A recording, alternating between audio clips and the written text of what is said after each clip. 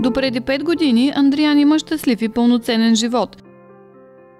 През 2016 младежът е диагностициран с тумор в мозъка.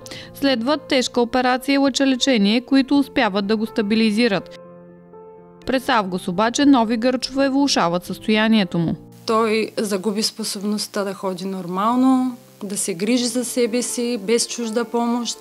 Нещата станаха изключително сложни и отново се наложи да се направи магнитен резонанс, след който беше установено, че образованието е огромно и шанс за операция в България, за съжаление, няма.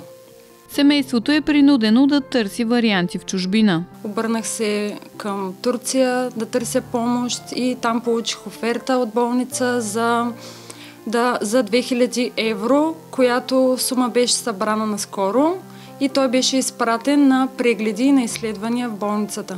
Турска клиника предлага лечение от 4 химиотерапии, след които има вероятност да се направи операция. Сега се налага да съберем 7000 лева за тези 4 на брой химиотерапии, след които се, а, имаме шанс за операция. Семейството на Андриан е започнало кампания да прави меденки от вкъщи и по този начин дарители да помагат за закупуването на домашните меденки, а единствената мечта на близките му е момчето да оздравее.